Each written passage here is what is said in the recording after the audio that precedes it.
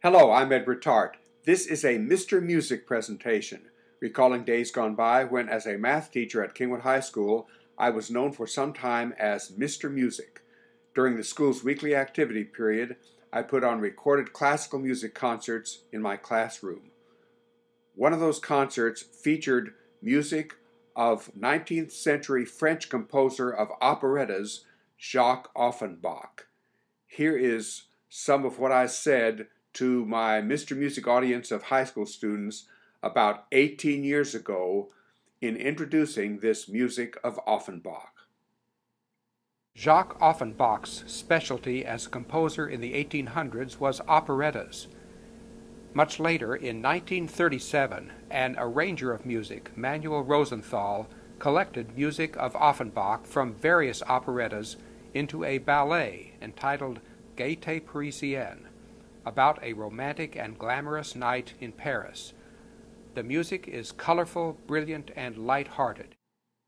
In this presentation, I offer you the entire 46-minute ballet Gaieté Parisienne. And because of my agreement with Naxos Records, Naxos, the world's leading classical music label, I can offer you a performance that is unique in its appropriateness. It is a performance conducted by the arranger Manuel Rosenthal, and this recording was made in the year 1996 when Rosenthal was 92 years old. He continued living to age 98. This performance is full of life. Here is the Monte Carlo Philharmonic Orchestra conducted by Manuel Rosenthal, in Music of Offenbach, arranged by Rosenthal, the ballet Gaieté Parisienne.